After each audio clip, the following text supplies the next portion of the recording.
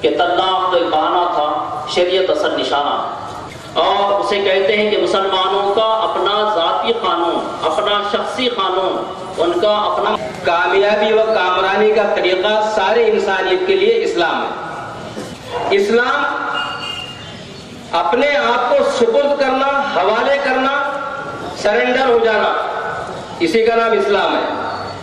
کہ مسلمانوں سنو تمہارے ترقی کا راز اللہ اور اس کے رسول کی شریعت میں مزمر و مستمر ہے۔ خبردار، رسول کی شریعت سے اعراض مت کرنا۔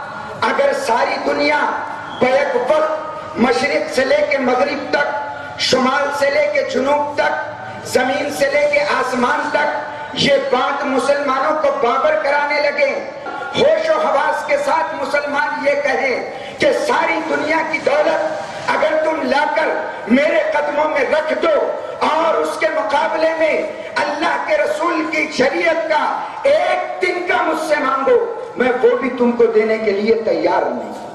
مسلمان ہے توحید میں گرم جوش، مگر دل ابھی تک ہے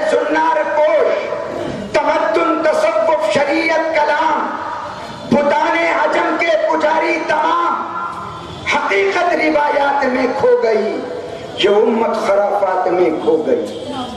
قوموں کے مقدر کا فیصلہ تعداد سے نہیں، بلکہ استطاعت سے ہوتا ہے۔ اگر تم میں قوت ہے، اگر تم میں کسبل ہے، اگر تم میں جرت ہے، اگر تم میں حمیت ہے، اگر تم میں غیرت ایمانی ہے، تو آؤ، آج اتگیر کے مسلمانوں، کل سے یہ ثابت کرو